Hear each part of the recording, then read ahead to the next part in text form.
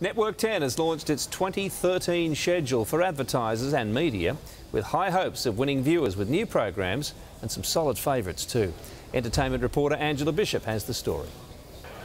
Network 10 has had its dramas, but next year they'll be on screen. Five new Australian dramas will headline the schedule, including Shaun Micallef and Kat Stewart in Mr and Mrs Murder.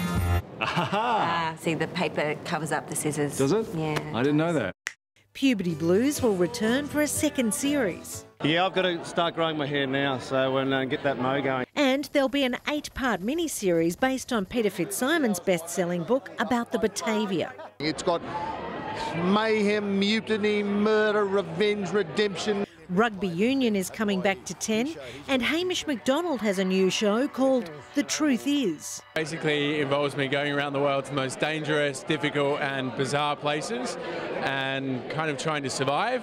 I think the important thing for us in 2013 is that we have consistency in our schedule and depth. But will it be enough? It's about reassurance, it's about confidence, it's about getting a perception that 10 has a clear idea of what 10 is and where 10 wants to be. There's five new Aussie dramas. I mean, they're not all going to take off, but you think, well, the, the, percentages are a couple of them are probably going to hit and get good audiences. I'm really excited to see uh, American Idol on free to air. I think that's a great win for um, fans of Keith Urban who'll be missing him from The Voice. Doesn't sort of mean we're perhaps looking at bringing back Australian Idol at some stage, does it? We always look at all of our options. We'll certainly be keeping that option open. Other favourites, Offspring, The Biggest Loser and MasterChef all return. Angela Bishop, 10 News.